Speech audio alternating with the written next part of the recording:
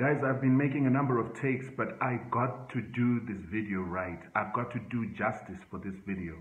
I'm celebrating in this video someone by the name of Dumisani Moyo. Uh, the name of their company is called Dumi International Aid. I am so grateful to you, my brother. I am so grateful to you, my father of the nation, for showing us an example of what we need to do as Zimbabweans to build Zimbabwe up. Dumisani Moyo went and raised $80,000 to make renovations at Mpilo Hospital because he felt that the indignity of the maternity ward needed to be fixed.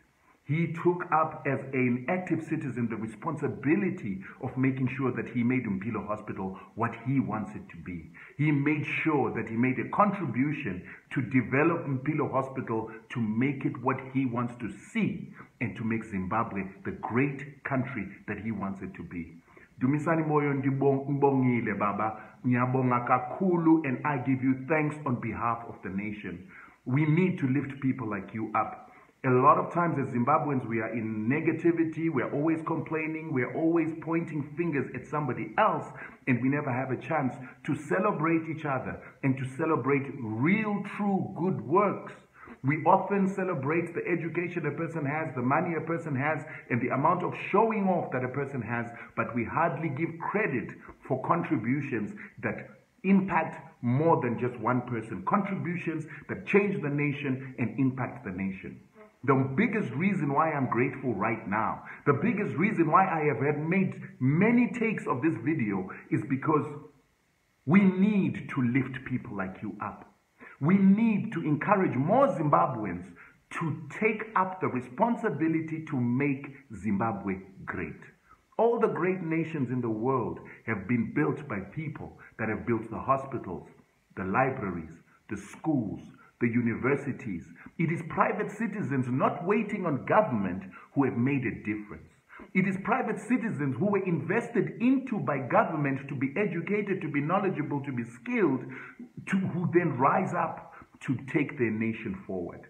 And in Zimbabwe, we have a particular problem and sickness where a lot of times our issues in Zimbabwe are caused by us, the citizens.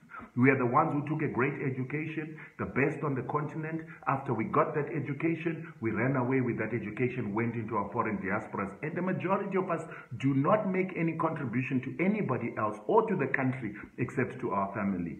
We are the same people that externalized monies when uh, white people started leaving the country to sabotage the land reform. We are the same people that did not invest to create the jobs for the future generations. However, Dumisani Moyo has said that we can make a difference. We can go into the diaspora, we'll make money in the diaspora, we'll get our contacts in the diaspora and bring back development to Zimbabwe. The same way that the Rockefellers did it, the same way that the JP Morgans left America, they went to London and brought the wealth back home.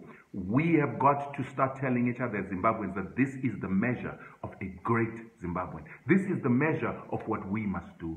And ever since I've started making videos targeted at the Zimbabwean community, I've always said that Zimbabwe is a failure because of us because we are not playing our role to make this country great. We are not playing our role to create the jobs. We are not playing our role to upgrade the hospitals. And now I want us to have a Facebook challenge where we challenge all those people that call themselves great. All the billionaires, all the people showing off their cars, the people with the 20 Bentleys and Rolls Royces. It's time that we all made videos like this one and say that Dumisani Moyo showed us the way. Apa une cash waitire Zimbabwe. Apa une cash, what have you done for Zimbabwe? It is a challenge that also I must embrace. I have to do for my country. I can't just be talking. You have to do for your country. You can't just be talking. And I'm going to pass this out to ED and Chamisa. You are politicians. You have been complaining and promising us so many things about what you want to do for the country. It's time that you made sure that you take money out of your pockets, you use your voices, you use your influence, and do something for Zimbabwe. Iwe Chamisa, I challenge you to stop going and looking for sanctions and for a change to make sure that you hold a campaign to develop Parenyatwa Hospital, to develop Harare Hospital. Show us that you care about the nation. And for all of us, the schools that we came from, the suburbs that we came from, why don't we start there and doing something for our communities, utilizing this brilliant education that we received. Those of you who ran away without paying your bursaries, those of you who ran away without giving back into the nation that invested in you to be one of the most educated people in the world, I challenge you now. Waitire Zimbabwe. Apa unekesh waitire Zimbabwe. Let's spread the message and let's give thanks to Dumi Moyo. Dumisani Moyo. Thank you, brother. Thank you for showing us how it's supposed to be done. Thank you for taking the examples of Andrew Carnegie, the Rockefellers, the Rothschilds, who have built institutions in their countries for their people to give their people human dignity. And let every other Zimbabwean, wherever they are, promote your country. This is the best country on earth. It is a country endowed with resources. It is the gold of the future, which is lithium. Promote it and do something for your country. Apa unekesh cash waitirei zimbabwe apa wakafunda waitirei zimbabwe what have you done for zimbabwe i'm so happy I have to make this video because we are usually complaining. We are usually talking about the things we don't do right. But today I'm celebrating an individual, a great individual who's showing us the way. You have to make Zimbabwe what you want it to be. We as Zimbabweans drive Bentleys, we drive Ferraris, we've got 10 houses, we've got 20 houses, and we show off to the world. But we must start holding each and every one of those people accountable. So make a video. Say to Strive Masiyiwa, Strive Masiyiwa, you're a billionaire. You've got the biggest company in the country. Why don't you improve? If Dumisani Moyo can raise $80,000 to do Mpilo Hospital, Iwe Makamba, what are you going to do for Parenyatwa?